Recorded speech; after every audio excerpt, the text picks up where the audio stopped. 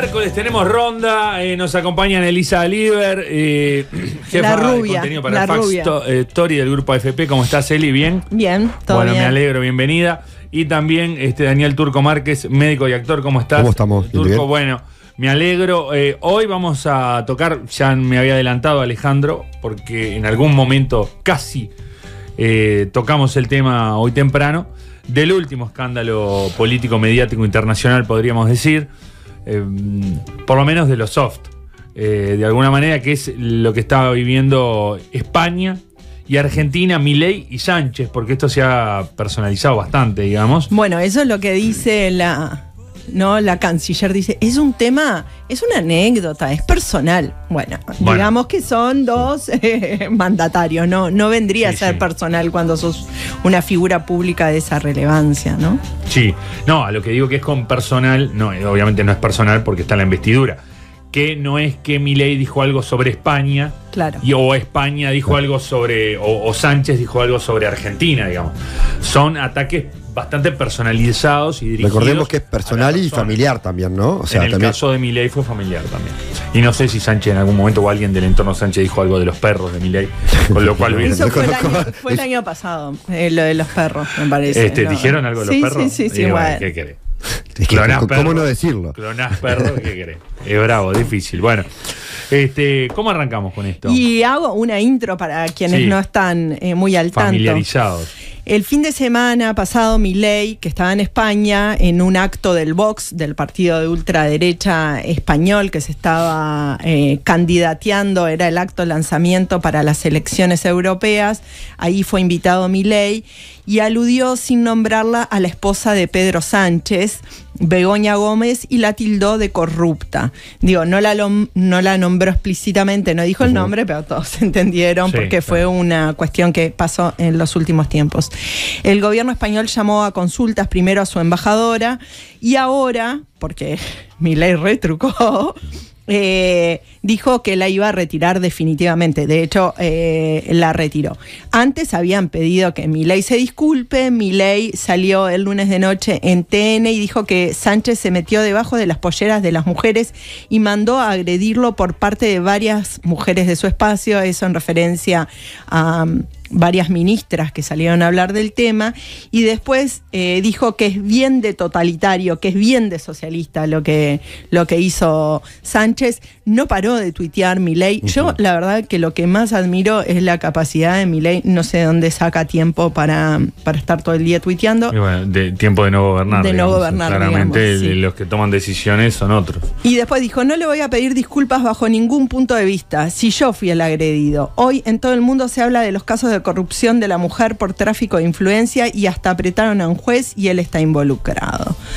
Y nosotros eh, con el turco titulamos esta columna la era de la diplomacia llegó a su fin. Claro. La era de la diplomacia eh, de Milei y Milei como un representante de la derecha populista que es ahora es uno de, de los personajes más controvertidos, pero tenemos varios eh, de ese estilo a nivel eh, mundial. Bueno, eh, empezando el que puso de moda esto, Trump, ¿no?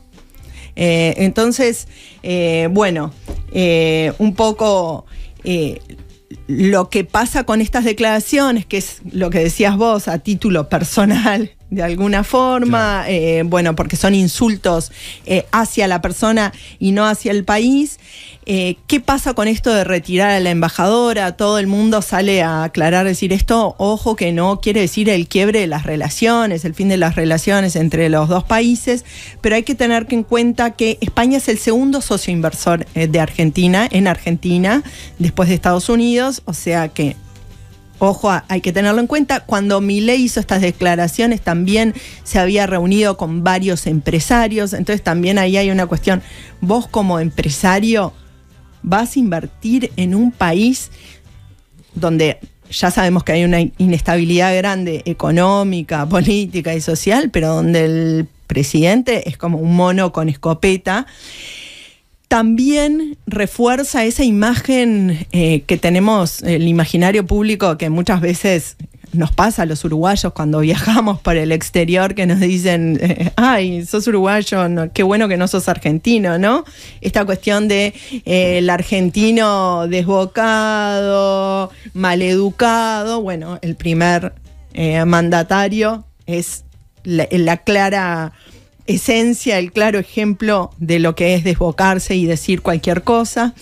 Eh, y, y claro, y ac- acá vuelve a surgir esta cuestión de eh, que mucha gente lo aplaude a Milei, ¿no? Que siga habiendo mucha gente que lo aplaude a Milei como, bueno, necesitamos un presidente sensato, que diga lo que... Sensato, eh, la palabra sensato eh, no, no vendría a ser la, de- la adecuada, pero un presidente que diga lo que piensa, que no tenga pelos en la lengua, que no se ande cuidando. ¿eh? Es como el fin de la era de la diplomacia, que, que muchas veces nosotros nos reímos de la diplomacia de permiso, perdona, pero que había determinados consensos hasta ahora que parecerían, mucho más allá de mi ley, estarse perdiendo, en el que cada uno dice lo que se le pasa por la cabeza sin importar... eh, Sí, las consecuencias. Las relaciones, los vínculos. Yo creo que algo en este episodio que seguro pasa también, que poca marcha atrás. Viste que en general los políticos es algo que tienen que acostumbrar a hacer, ¿viste? Eh, lo que decía Eli, en un momento no solo que no retrucó, sino que redobló la apuesta. O sea, Sí, sí, y después siguió redoblando la apuesta diciendo que ese episodio no lo mencionaste, pero de que va a ser el hazme reír del mundo por este episodio. O sea, siguió agrediendo. No tiene como esa sensibilidad de, bueno, esto puede traer consecuencias económicas graves para mi país. En No, no, consecuencias económicas y también una cuestión de si el presidente dice esas cosas de otra persona con una total libertad, diga la libertad carajo, ¿no? ¿Cómo le podemos pedir, cómo le puedo pedir yo a un gurí en la escuela que trate bien al otro, ¿no? Que a- al otro que piensa diferente o que es diferente o que se puede haber equivocado, pero por lo menos partiendo desde un lugar de, de respeto.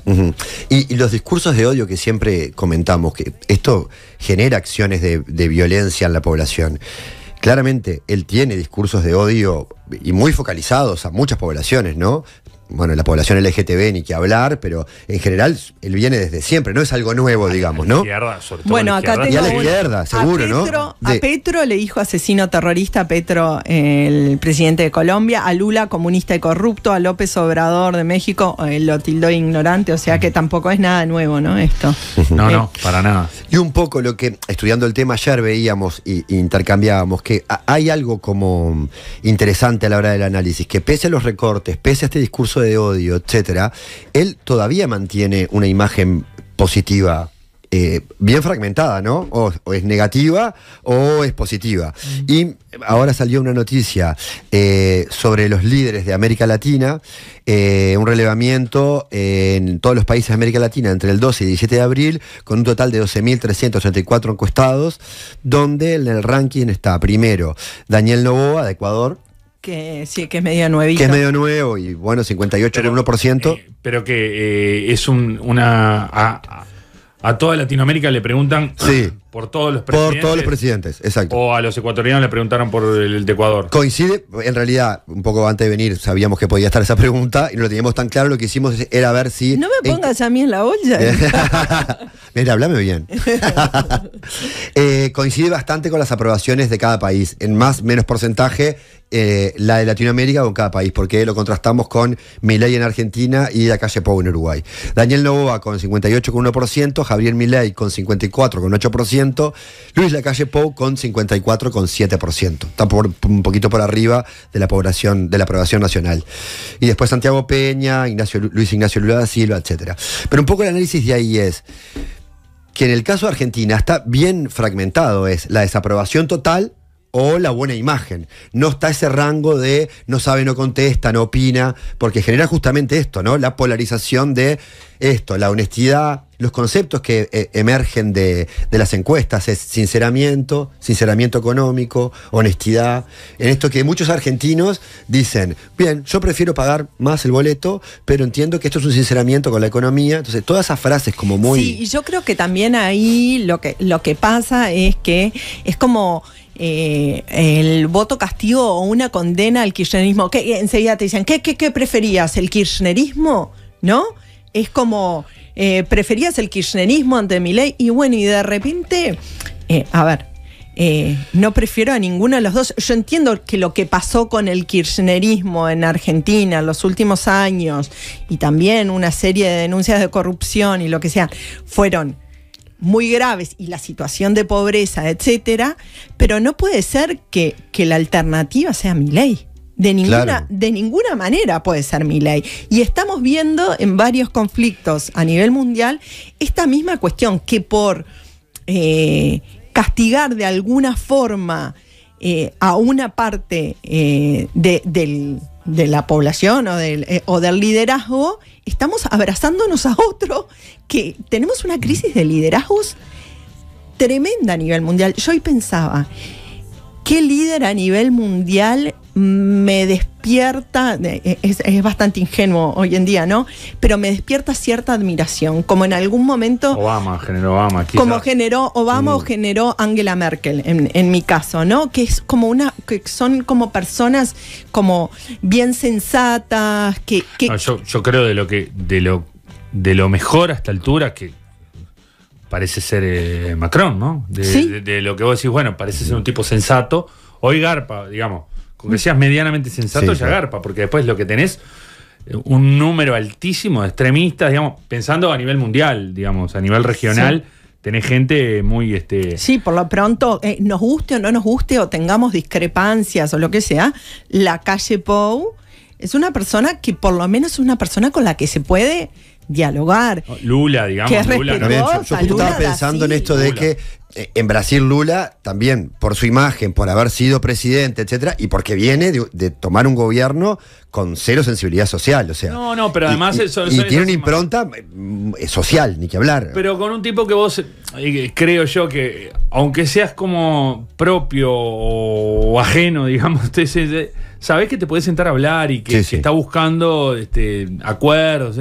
No, eh, eh, estas personas que, que son muy difíciles, digamos, ¿no? Claro, muy pero complejo. lo ¿no? peligroso es que cuando del otro lado se empieza a visualizar que esta forma garpa, que yo creo que es un poco el, el- el- el temor que tenemos todos, es, bueno, garpa, eh, la ofensa, garpa, ser, Ser extremo. ser extremo. Bueno, pero Argentina, yo creo que el mundo, pero Argentina es un país que desde hace mucho tiempo es extremadamente violento. Sí. La, sociedad está muy violenta. Yo me acuerdo de la época del stand-up, digamos, cuando yo supe este, estar muy metido en eso. En un momento nos llevaron, este, el movie, que era donde nosotros hacíamos, nos llevaron a Argentina a ver algún espectáculo, en fin, para ver qué se estaba haciendo allá, yo qué sé. Y me acuerdo hablar con un, este, una persona, tandapero allá, que hablaba que sobre las malas palabras, ¿no? Que el- el- la fuerza de la mala palabra también es, vi- violencia, la mala palabra, ¿no? Agarrar, este, tiene una cosa de- del insulto como tal. Y claro, y, y decía, vos, la gente en la tarde dice, escucha cualquier cosa. Entonces, el, el nivel que vos de, violencia verbal para que el impacto del chiste, el remate violento funcione, es muchísimo más alto. Lo veías en la calle, en cómo manejan, en un montón de cosas, en, en- en el fútbol.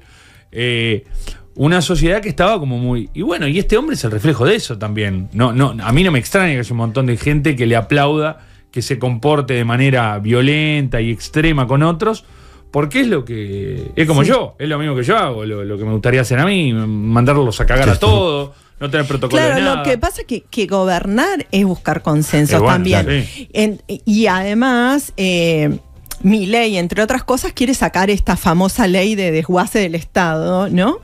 Que no lo está logrando, porque no logra consenso, porque está todo el día eh, vilipendiando, puteando a, a- su- a los legisladores, a los gobernadores, está rompiendo con todo. Entonces vos decís, es imposible eh, gobernar así, es imposible convivir así, porque estamos hablando mucho más allá, allá del gobierno. Es como va, cómo todo esto se cuela en la sociedad, que no hay, que no hay términos medios, que eso no quiere decir ser, ser tibio. O sea, es poder dialogar con el otro y encontrar puntos en común para construir desde ahí, porque si no, es... claro. Porque Pero también- si no es o vos o yo, ¿qué vamos a salir en Argentina? La próxima es salir a, a- a reventar eh, a todos. perdón, que- quería leer una frase de un escritor argentino que me gusta mucho, que se llama Martín Cojan, que no, no sé si lo conocen, bueno, que, que realmente vale la pena escucharlo, que decía, ser cruel está de moda. Es el regodeo con el padecimiento ajeno, con el daño que está haciendo. O sea, eso es un poco lo que vivimos, porque el tipo no es que te dice, yo la verdad que no me parece determinados accionarios, estoy en contra de la corrupción, hablemos acerca de esto, o es quemar con todo y vangloriarse de, de- de tus Sí, dichos, hoy- ¿no? Poniendo todo en juego. Hoy de mañana, este, hoy de mañana de mañana, con Pata González, justamente Sí. hablamos de esto, de la crueldad, ¿no? Del placer en la crueldad, en decir, ah, se quedaron todos sin trabajo. No, ah, ahora van a ver. Sí, claro. No, no, a ver que no van a morfar el placer, porque hay una parte ahí que vos, este. Bueno, Pero que es pasó- durísimo que sí. pase eso en la política, porque creo que son de los ejercicios, la política debería tener, debería tener, en muchos casos no lo tiene, esto de buscar, o sea, debería ser humana, y muchas veces no es humana, es despiadada. Es el, el- el buscar la revancha en el otro y todo el tiempo esto, ellos y nosotros. Hoy veníamos hablando con Eli también esto de Ellos o nosotros. ellos son nosotros, Eva. Sí, sí, no, Entonces, no, sí. claro, entonces en esto de, de pensarnos en dos bandos, digamos, yo pensaba en este tema. En, en Uruguay, ¿estamos muy lejos de esto? Nosotros tenemos bastantes exponentes políticos.